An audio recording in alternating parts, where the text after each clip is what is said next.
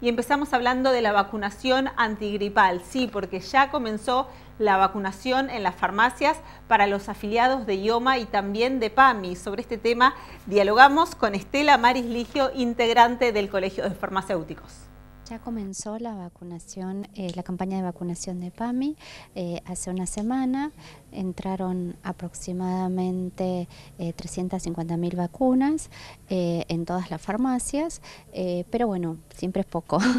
Así que en esta farmacia, por ejemplo, ya se aplicaron todas, con lo cual estamos esperando la, nueva, la nueva entrega que va a ser en principio este fin de semana o para el lunes ya tendríamos que tener nuevamente. Eh, ¿El afiliado debe venir solo con su carnet? ¿Debe venir con una prescripción médica? No, no, no. La campaña es para mayores de 65 y solo debe venir con eh, el carnet de PAMI. ¿Antes debe venir, inscribirse o es por, por cantidad de vacunas que haya en la farmacia? Es que en realidad nosotros tenemos un listadito eh, con todos los afiliados, con los clientes, para poder llamarlos y coordinar este, la aplicación. Sí, porque como son pocas vacunas, entonces eh, si, si vienen y se inscriben, mejor, ¿no? ¿Qué sucede con los afiliados de IOMA que también arrancaron su vacunación antigripal? Bien, las vacunas de IOMA ya ingresaron también, em, comenzó la campaña de vacunación y tienen que venir con eh, la recetita y el carnet también. Es necesario vacunarse lo antes posible. Sí, mientras eh, más rápido eh, realice la vacunación, mucho mejor porque va a tener inmunidad más rápido. Ya viste que el clima cambió este, rápido de un clima que veníamos muy agradable, en que los mosquitos nos molestaban, a esto que bueno, ya es un clima más de otoño, casi invierno por la temperatura, ¿no? Nos tenemos que abrigar, bueno, y es conveniente sí este, eh, aplicarse la vacuna para tener inmunidad y estar protegido ¿Pasamos de los repelentes a las vacunas?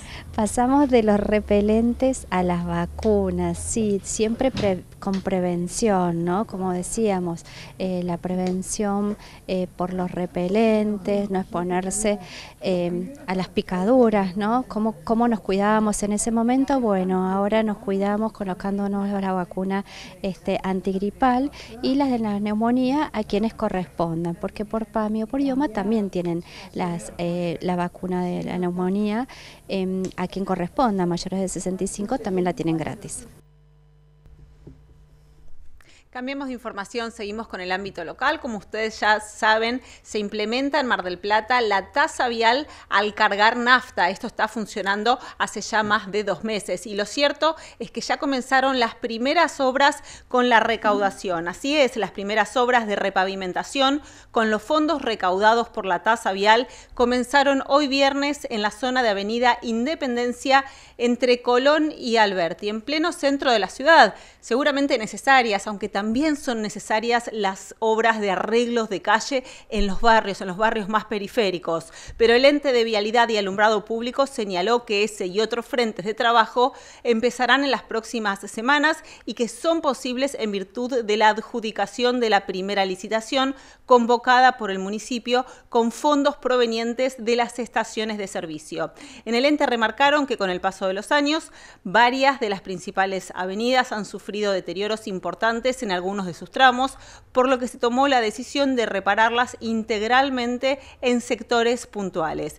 Las obras de repavimentación de carpeta asfáltica contemplada en la licitación suman 45.000 metros cuadrados, de los que una parte se harán allí en la avenida Independencia y otros 10.000 en la zona de la vieja estación terminal, el materno infantil y sectores del macrocentro. Por el momento, los barrios no son prioridad con la recaudación de la tasa vial. Desde Vialidad precisaron que este es el inicio de una serie de obras que se irán desarrollando en toda la ciudad en los próximos meses. Y seguimos con más información del ámbito municipal que tiene que ver con la Secretaría de Seguridad, porque han informado en el día de hoy un nuevo acuerdo para poder brindar mayor seguridad a los trabajadores de aplicaciones por deliveries. Lo cierto es que se formalizó un sistema de seguridad. La decisión se comunicó un mes después de lo que fue la reunión mantenida por el gobierno local y representantes de los trabajadores de delivery. Lo cierto es que en el día de hoy hubo un nuevo encuentro con la Municipalidad de General Pueyrredón en el cual se acordó la instalación de un nuevo sistema que mejore la seguridad de los motoristas que transitan por la ciudad. Las autoridades y los trabajadores, quienes se manifestaron en reiteradas ocasiones por varios hechos de inseguridad, definieron la de una aplicación móvil en los celulares de los repartidores. Según precisaron desde el Ejecutivo local, al activarla se geolocalizará y se seguirá mediante las cámaras del COM, con lo que se pondrá en aviso al personal policial. Lo vemos en imágenes al secretario de Seguridad, Rodrigo Goncalves, que explicó el funcionamiento de esta nueva tecnología y comentó que hemos puesto un esfuerzo importante para desarrollar un programa que tiene que ver con un botón de alerta que lo vamos a anexar a los teléfonos celulares para que puedan pedir auxilio rápidamente y con ese auxilio repercuta entonces en el centro de operaciones y de monitoreos. La información entonces que se dio a conocer en el día de hoy de este nuevo sistema de seguridad. Y cambiamos de información, les contamos que el próximo martes 23 de abril habrá un nuevo paro de los docentes universitarios. Por supuesto, esto afecta en nuestra ciudad a la Universidad Nacional de Mar del Plata. También habrá una movilización, paro total de actividades y además en el día de hoy trascendió la noticia de que el gobierno nacional habría llegado a un acuerdo con las universidades para aumentar el presupuesto. Sobre estos temas dialogamos con San Llorenti, Pedro San Llorenti, secretario general de ADUM.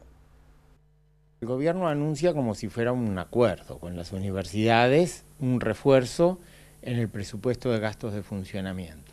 Bueno, obviamente eh, los refuerzos cuando se cumplan, porque digamos una cosa es anunciarlo, en marzo hicieron lo mismo y después no se veía nunca la resolución eh, de transferencia de fondos y justamente lo hicieron también cuando estábamos en vísperas de una medida de fuerza el 14 de marzo.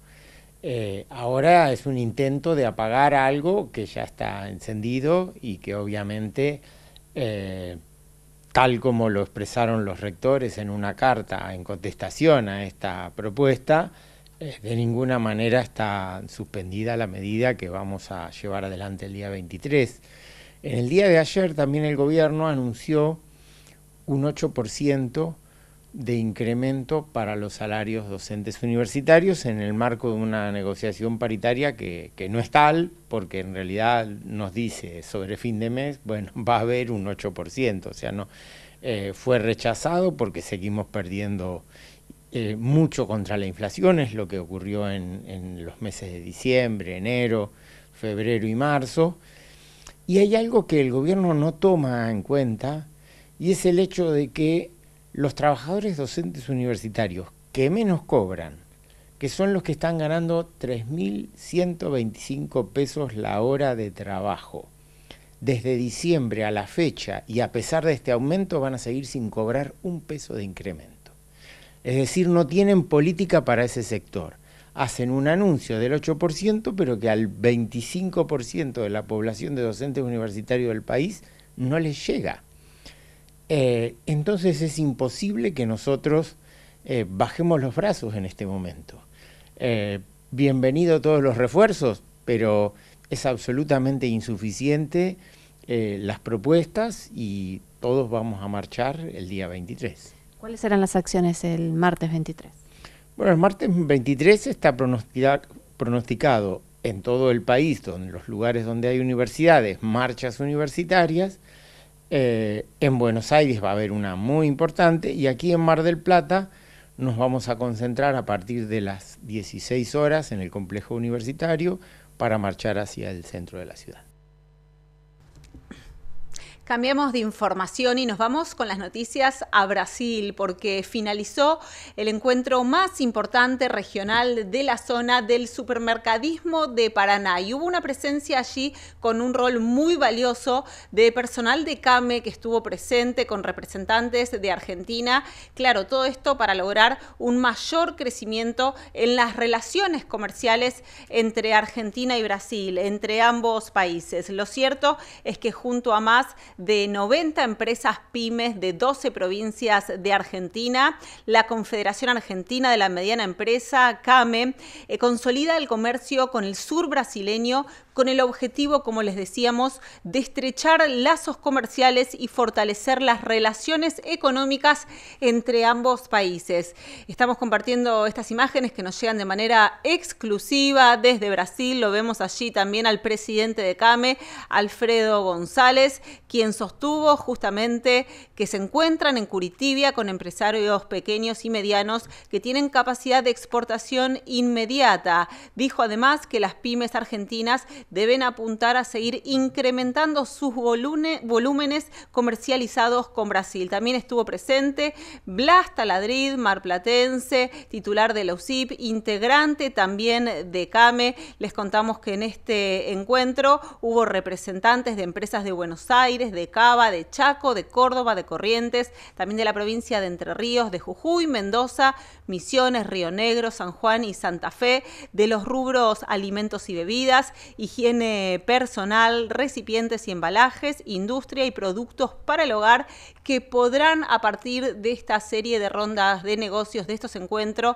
concretar las exportaciones. Durante el 2023, algunos datos interesantes a tener en cuenta, 1.630 pequeñas y medianas empresas argentinas exportaron productos hacia Brasil por un valor de 1.176 millones de dólares.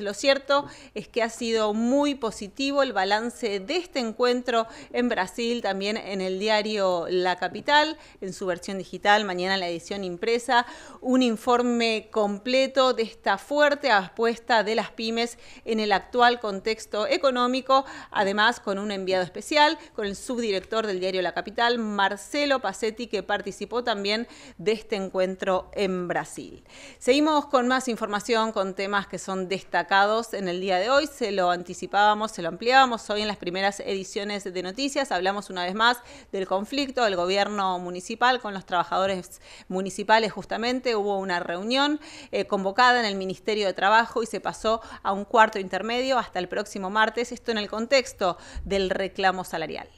En base a esto, eh, el sindicato ha ratificado en el día de hoy la, posición de que la paritaria no puede ser una imposición, sino que tiene que ser el marco como lo fija la ley para poder continuar con las negociaciones que tienen que ver con el 35% que ha pedido el gremio para igualar el primer trimestre lo que es el costo de vida. Eh, y por que no se vulneren los derechos, como decía, tanto eh, en lo que es presentismo como lo que es eh, la intención eh, de practicar a todos los trabajadores como esenciales cuando esto lo marca una ley y no lo puede hacer una ordenanza como intenta el Departamento Ejecutivo. El Departamento Ejecutivo ha manifestado su su apertura al diálogo o lo que para ellos entienden que es continuar el diálogo. Para nosotros hasta ahora ha sido imposición. Espero que realmente sea un diálogo donde se pueda avanzar en estas cuestiones. Eh, y el Ministerio de Trabajo eh, ha instado fundamentalmente al Departamento Ejecutivo a que retrotraiga las medidas de fuerza eh, o las medidas, mejor, perdón, adoptadas por eh, por, el Departamento Ejecutivo en esto que nosotros decimos que es vulnerar derechos. Eh, a todo esto... el eh, proyecto que presentó el intendente Montenegro sobre hacer esenciales a los trabajadores municipales. En este momento el proyecto no ha avanzado, con lo cual fundamentalmente ahora tiene que ver con el reconocimiento de los días caídos y, y lo que es la, quita que se pretende de presentismo, que sería en todo un marco no reconocer los días de huelga, es lo que constitucionalmente el, artículo 14 bis eh, indica. Eh, finalmente, en esta posibilidad de reapertura del diálogo, eh, que esperemos que sea más serio y responsable, en este marco que nos brinda el Ministerio de Trabajo, habría un cuarto intermedio para el día martes a las 10 de la mañana donde esperamos, bueno, esto, ¿no? Que el Departamento Ejecutivo pueda en un marco paritario eh, abrir el juego y que podamos llegar a un número o a una posibilidad, no solo en un mes, sino para el mes que viene, eh, a un trabajo que nos permita ir recuperando el poder adquisitivo del salario eh, en un año que la inflación como ya ha llegado al 51,6% en el acumulado y nosotros estamos con un 10 hasta ahora. Hoy en el segmento de Cultura de Canal 2 hablamos de artes plásticas porque comenzó en esta jornada y continúa mañana el encuentro de pintores marinistas. Sí, exponen sus obras al público allí en la Rambla. Es realmente un paseo muy lindo de poder disfrutar por parte de toda la comunidad. El encuentro de pintores marinistas nos invita a, compartir la mañana y a realizar pinturas. Eh, somos de la Escuela del Mar y venimos con algunos grupos de la escuela a, pintar, a compartir eh, la misma actividad que vienen a hacer pintores y pintoras eh, desde hace algunos años y bueno, eh, siempre la pasamos muy bien, es muy, muy lindo el, encuentro y el ambiente. ¿Dónde está la Escuela del Mar? Está en el barrio San Patricio. es una, este año cumplimos 10 años y desde hace tres años ya tenemos ahí nuestro propio edificio eh, construido con, técnicas de construcción natural y, bueno, ahí, ahí estamos, eh, este año somos alrededor de 70 niños, niñas. Una escuela autosustentable, ¿no? Sí, sí, es una escuela que hicimos...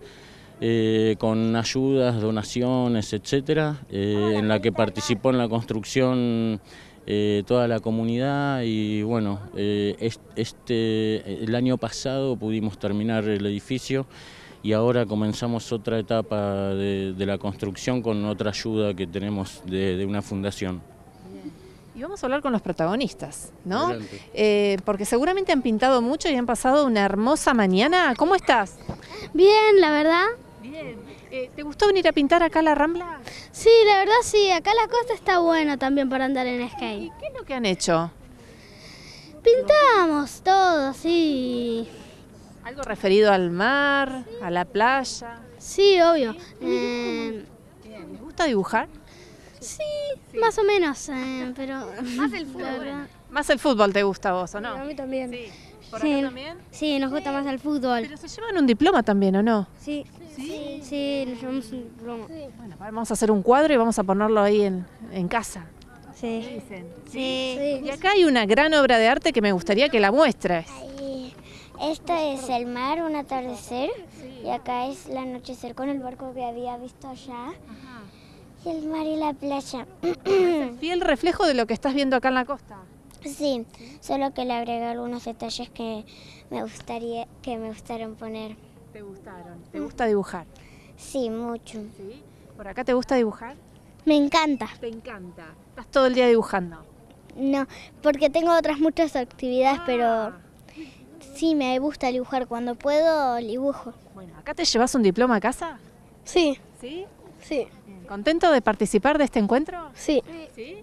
Sí. ¿Participando del encuentro marinista? Sí, participando acá, disfrutando Mar del Plata, pintando un poquito el paisaje. Un año más de este encuentro, ¿no? Sí, sí, un año más. Venimos siempre. ¿Excusa obligada para venir a Mar del Plata? No, vengo siempre. me encanta, me encanta. Eh, así que nada, venimos a disfrutar acá con la gente, con los Roura que organizan esto, que es maravilloso. Eh, y bueno, a disfrutar también la ciudad. ¿Hay alguna consigna este año? No, este año es libre, es libre eh, y bueno, pintamos lo que más nos guste. Estoy tratando de representar el amanecer de hoy, así que bueno, vamos con los colores más cálidos. ¿Viniste muy temprano a la costa? Eh, hoy a la mañana, eh, sí, nos, nos despertamos temprano y estuvimos haciendo algunas fotos y eso, así que vamos a aprovechar ese material. ¿Dónde se exhiben estos cuadros? Se exhiben acá, en la Rambla, en la Rambla acá, eh, así que la gente los va a poder mirar, va a poder recorrerlos. Eh, a las 4, ¿no, Guille? Mañana. A partir de las 2 de la tarde, a partir de las 2 de la tarde se van a estar exponiendo.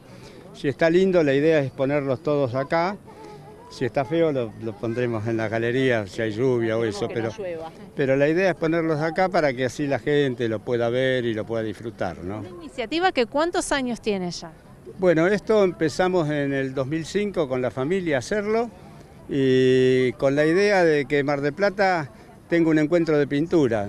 Seguimos luchando por, porque lo, que lo siga teniendo y bueno, siempre la familia unida y uno se encarga de una cosa, otro se va encargando de otra y ahí vamos, luchando y manteniéndolo este año a causa de, de la situación. No conseguimos sponsor, así que decidimos hacerlo igual y realmente, bueno, la gente se prendió, les agradecemos muchísimo que hayan venido y acá estamos haciéndolo. ¿Y a lo largo de toda la costa se pueden encontrarlos? Sí, sí. ¿Qué tal? Buenos días, gracias por venir. Bueno, el encuentro se llama Contraviento y Marea, casualmente por esta circunstancia, no climáticas, en este caso económicas, pero igual nos impulsaron los mismos pintores a hacerlo porque no, Roura dijo no, este año no se puede, pero de Florencio Varela un grupo de 60 personas, entre profesores y, artistas y gente de Verazategui, de San Juan, dice no importa que no hay premio, igual vamos a Mar del Plata. Ya la ciudad tiene un atractivo impresionante. Así que agradecemos a la UCIP que nos está acompañando y a un empresario marplatense que va a elegir una obra y va a comprar él personalmente al, pintor.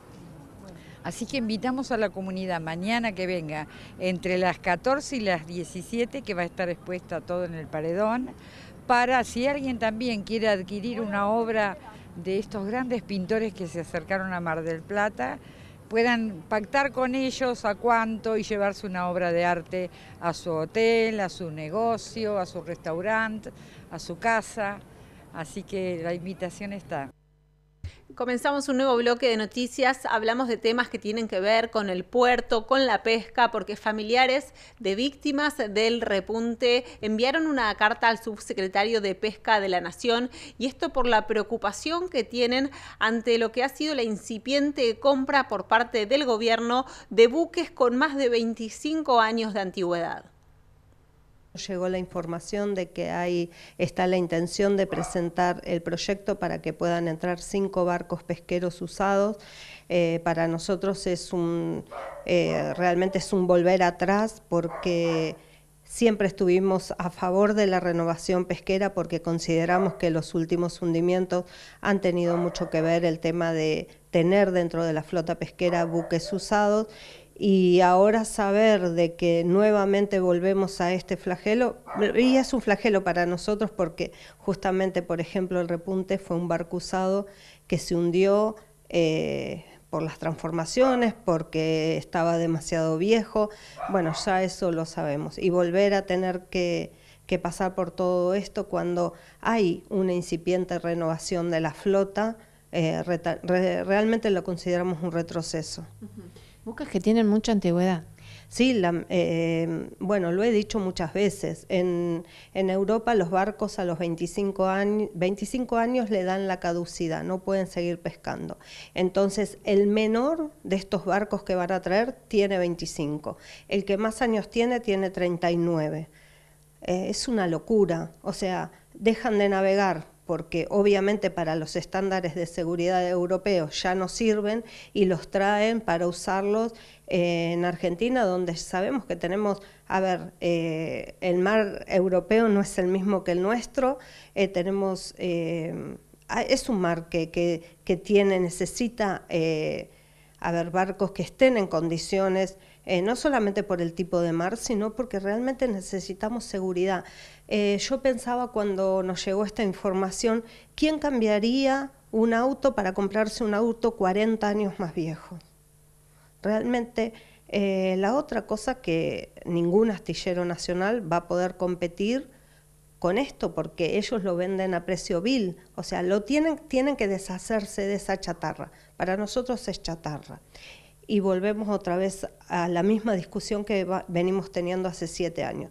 La seguridad de los trabajadores, de los tripulantes, queda siempre para lo último. Los que se suben a trabajar tienen que salir a trabajar en cualquier condición y por eso queremos que esto se revea, que den si necesitan esas empresas o la que necesite para la renovación ayuda, que les den ayuda, eh, que eso lo vean, pero que se que nuevamente eh, volvamos a tener otra vez el tema de la renovación pesquera, eh, de la renovación de la flota pesquera, eh, pensándolo, porque lo que vemos es que la seguridad no se está tratando, se está tratando solamente problemas económicos y la vida para nosotros es el mayor bien. Entonces tenemos que trabajar en ese sentido y son temas que por supuesto involucran también la salud mental. Y hablando de salud mental, les contamos que continúa desarrollándose en Mar del Plata hasta el día de mañana sábado inclusive el 37